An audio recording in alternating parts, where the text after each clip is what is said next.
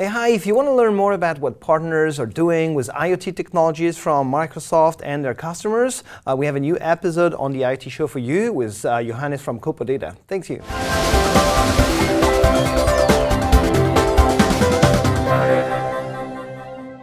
Hi, this is the Internet of Things show. I'm Olivier, your host. Uh, today we have Johannes from, uh, uh, from uh, Europe, just actually flew from Europe, right? That's correct. kind of like marked a little, right? no, you're not. You look great. Uh, so, uh, Copa Data, we, we work for, uh, is one of our uh, top partners. And uh, today we're going to talk about what you as partners are doing to help our customers uh, you know, connect the, uh, the, the, cloud world to their world, right? So we're going to talk about uh, in industry type of scenarios. We're going to talk about CD, uh, smart cities type of things as well. Uh, but first, before we get into that, uh, can you actually tell us who you are and who Copa Data is actually? Yeah. First of all, it's a pleasure being here, Olivier. Thanks for having us. Um, Copa Data itself is a software um, provider, software company. Uh, yeah. We develop a software platform which mm -hmm. is mm-hmm. called zenon. Mm -hmm. And we're basically coming from the industrial automation world.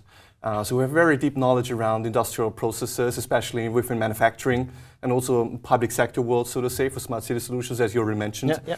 And uh, basically, we're leveraging the Azure Cloud Platform to deliver very powerful industrial IT applications for these two worlds, basically. Yeah, yeah, because we do provide solutions, we do provide SaaS and PaaS solutions mm. that make it easy to create an IoT application, but integrating these into a customer, into an actual application that has a dedicated purpose, mm. something that actually requires someone who knows the two worlds, the word of the cloud of Microsoft and these mm. kind of technologies, the IT world, and the word of that industry, that vertical, right? Absolutely. That's also kind of what we want to do. We want to really guide them through the digital transformation. Mm -hmm. And what we see quite a lot, both manufacturing companies but also public organizations, they're still struggling a lot to actually acquire all the information from the existing infrastructure. Okay. You know, just imagine they have infrastructure that is 20, 30, 40 years old. Mm -hmm. You know, a lot of legacy systems, heterogeneous hardware landscapes. They want to integrate to, you know, a complete solution. Mm -hmm. And this is something we can provide very well uh, with our software zenon in combination with the Microsoft Azure Cloud Platform. Yeah.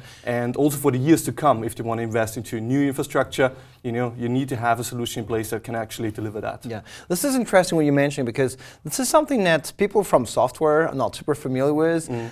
People were building industrial automation and this kind of systems yeah. and smart city systems and so on. Yeah. This equipment have to live for 20 years, Absolutely, right? absolutely. It's a completely different investment cycles, you know.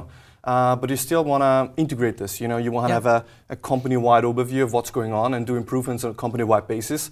Um, so it's really important to in integrate those proprietary systems as well. Okay, so what do you see the key scenarios, the key things that these customers are implementing, and how are you guys helping them to do that? Yeah, after having this access to this, you know, real-time inf information from the infrastructure, mm -hmm. it's really about remote monitoring control solutions you put okay. on top.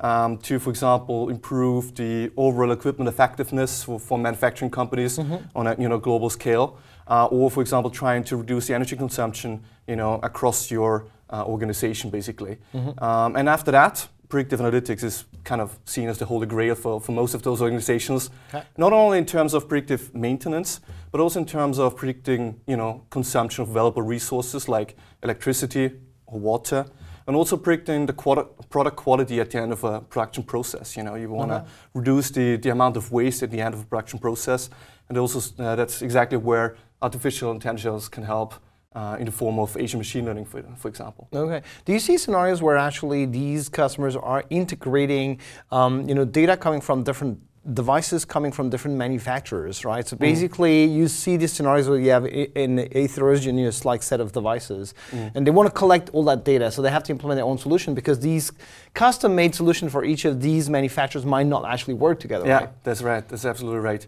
That's also the reason why we provide from our side 300 communication protocols and drivers that allow us to connect to all these different you know vendors and systems, yeah. both hardware and software, and I, think that's very powerful, especially in combination yeah. with the Microsoft Azure Cloud platform. One of, the, one, one of your uh, superpowers as a partner actually to be in yeah. between these worlds, and you're able actually to offer that value add, that huge value add of that integration of these various types of devices, from different providers, different manufacturers to actually deliver to that customer the ability to, to collect all that data and do the analytics then. Absolutely. Okay. Absolutely.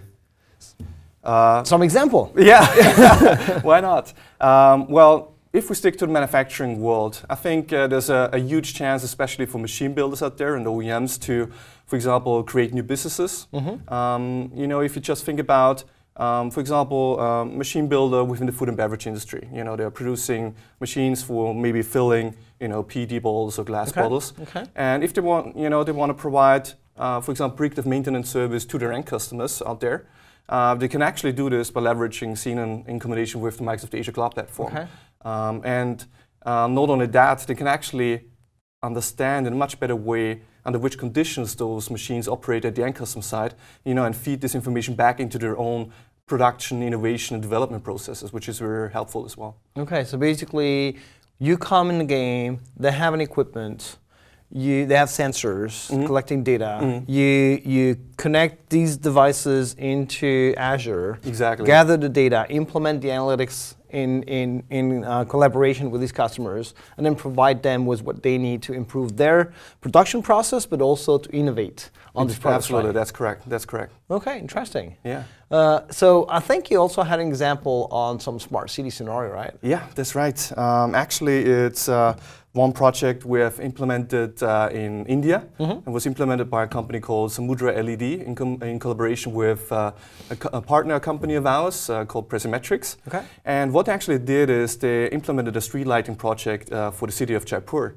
And what they did is actually they replaced uh, 100,000 street lights across mm-hmm. the city in order to reduce uh, the energy consumption. Of course, you can argue now if I use LED lamps, I mean, they're saving energy yeah. anyway. Yeah. Uh, but um, more than that, they actually um, are now in a position to collect this real-time information coming from those light bulbs mm-hmm. across the city, manage that, control that, and uh, actually, um, you know, increase the efficiency of those light bulbs out there. But could it be as in like scheduling when they're on and off in a better way? Yeah, and then dim the light, for example, uh, you know, in various conditions and things like that, all to, to save energy. And actually, they, they had a quite a high, high target to, to meet. Okay, um, which, was? which, was? Do we have some numbers? Yeah, 77% actually was the target. Yeah, um, 77% reduction, reduction in consumption. consumption. Yeah, that's, that's just huge. Yeah, and after implementation, they actually achieved a reduction of 80%, which is really impressive.